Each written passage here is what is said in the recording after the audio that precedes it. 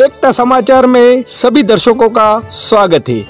हमारे चैनल को सब्सक्राइब कीजिए, शेयर कीजिए। धन्यवाद। डूंगरपुर जिला कलेक्टर श्रीमती शुभम चौधरी ने किया गलियाकोट क्षेत्र का दौरा। इस दौरान जिला कलेक्टर ने गलियाकोट स्थित विश्व प्रसिद्ध सैयद नापीर फखरुद्दीन की दरगाह पर फूलों की चादर चढ़ाई एवं दर्शन का लाभ लिया तथा देश व दुनिया में अमन चैन की दुआ की। दरगाह कमेटी के खुजेम घाकर, शेख यूसुफ हादी ने जिला कलेक्टर चौधरी को दरगाह की संपूर्ण जानकारी दी तथा दरगाह में आने जाने वाले श्रद्धालुओं के बारे में विस्तार से बताया।